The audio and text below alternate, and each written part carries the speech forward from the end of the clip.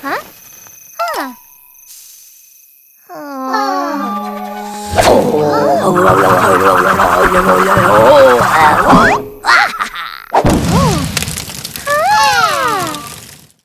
We fit the wood into the pit, which Rocky then daringly lit.